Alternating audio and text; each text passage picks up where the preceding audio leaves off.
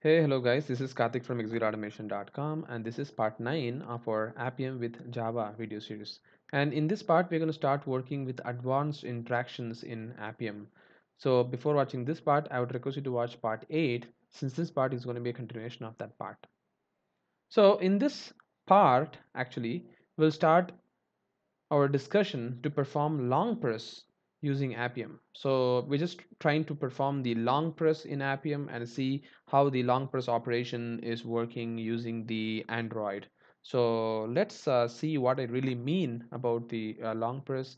Uh, actually, you'll be using this uh, basically uh, a lot of time while working with your Android uh, operating system.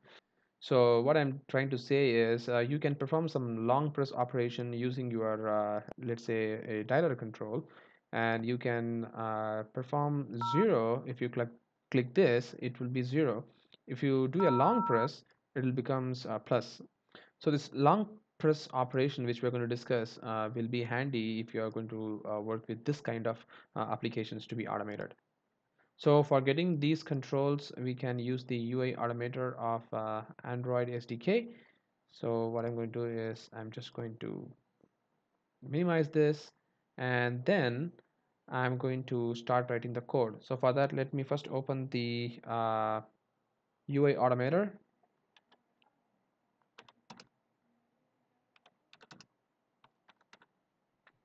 So it is available in my F colon. Oops and uh, in the tools we have the uh, UI automator viewer.bat all right and also I have I need to open the actual Android SDK rather uh, this SDK because it has a problem with handshaking. So I'm going to open the AVD manager. All right and then I'm going to start the simulator as well. So this will take much time to load again. So we'll wait for uh, this to completely load up. All right so the operating system is now booted. So i'm just going to unlock this and uh, now i'm going to open the uh, dialer app. All right and then let's run the ui automator viewer. And i'm going to choose this emulator. So it's going to take the screenshot.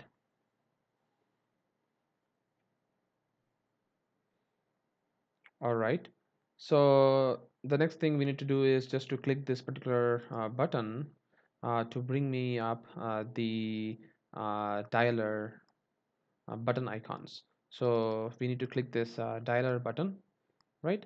And then we need to perform the long press for the zero button so that it will bring the plus symbol right? So we'll just start to do one by one.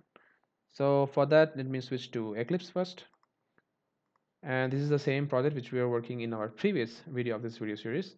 And here I'm not going to use uh, this app activity. Rather we need to use the uh, activity of this particular uh, dialer application. So again for understanding for knowing actually what is the activity uh, there is an apk file called uh, apk info so this is an application which we can use to get the information of that particular APK file. So you can install that into your particular emulator and you can get to know about that.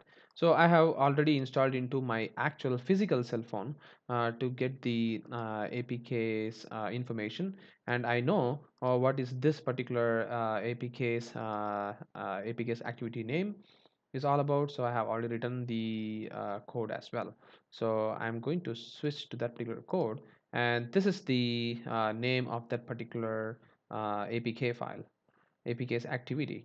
So this is the dialer's activity name.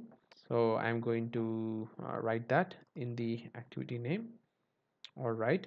And the app package name is going to be uh, com.android.dialers uh, that you can get even from your normal UI automator so the package name is com.android.dialer right? That you can even get from here but it doesn't show you the activity name. All right great. And then we need to actually click this particular button. So that is the next quest right? So uh, we'll just copy this uh, id maybe fully even if you want to. And then I'm just going to delete these codes fully and I'm going to just do driver dot uh, find element by ID and I'm going to pass the full ID here and then I'm going to click that particular button. So this will bring me up all the number pads right? And then uh, we need to then do is uh, once we click that uh, you can see that it's going to bring me up this particular uh, button things right? So again uh, I can uh, get all these uh, objects by just doing once again uh, taking the screenshot by refreshing the UI Automator viewer so this will now bring me up all this screen right? And you can see that this is the button which we are very much interested in. So I am just going to click this particular button uh, for a long time. And now if you see if you mouse over here it will actually go to uh, just see the resource ID what is that? Uh, if you hover here it is a dial pad key number. And then if you go here it's again the same thing. So which means there is no differentiation. So we cannot use this particular property to identify this particular control. Even the plus sign is dialer letter dial pad key letters. And this is same for all the buttons so which one is actually distinguishing between them is actually if you just come out a little bit can you see the uh, rectangle is actually changing a little bit? Uh, and this is the control which we should look for. And you can see that it has a id as zero and it has a content description as zero. You can use any one of them. This content description is something but your accessibility id right? You can use any one of them so maybe anything you want. A zero or the zero uh, the number zero whichever you want.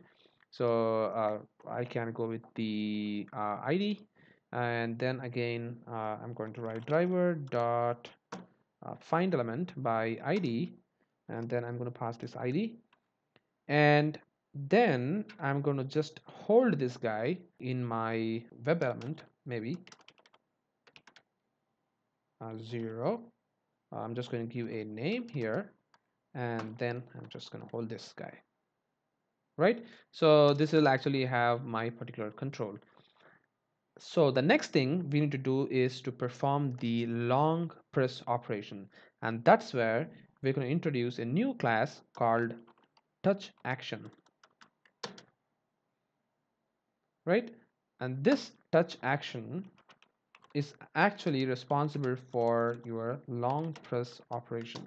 So this is a new class uh, touch action and it expects you to pass the driver and we know uh, this is our driver. And here in the actions instance variable you have a, a method called long press. Do you see that? So here in the long press you can pass the particular web element which we just identified. Nothing but zero right so uh, let's do a small uh, uh, test here. Uh, let's do a, a norm a long press zero and then a normal zero operation. So I'm going to perform a normal zero operation as well. So zero dot uh, click. So it will just type a plus zero right? So I'm just going to save this code. And then the next thing we need to do is uh, go to the appium server. Let's stop this thing and uh, I'm going to remove this application path because we're going to use the out of the box application. I'm going to remove that and then I'm going to start this guy. Uh, let's see. I'm just going to close this uh, emulator right now. Uh, okay so the Appium server is up and running. So let's try to run this uh, test and see how things works. So let's go to our emulator.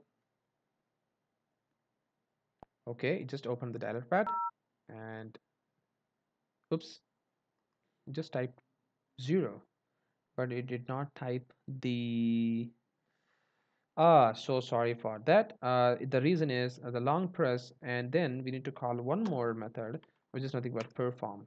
I just missed that I'm sorry. So we need to do that as well. Uh, it's more like the action class which is available in your selenium which is available in support.ui uh, package of java so you can use uh, it's exactly the same concept actually. So i think this class is also inheriting the actions uh, interface. So i'm just going to save it. And now let's see if the Appium has just closed the session. No. Maybe we should explicitly call the Appium driver to close the session end test method. Okay the session is just over and now if we try to uh, run this test once again uh, we should see the operation performing. All right. Did you see? It just performed the long op uh, press operation and there was a long sound as well uh, coming from uh, the device. Right? And this got passed. So that's it guys. Thank you very much for watching this video and have a great day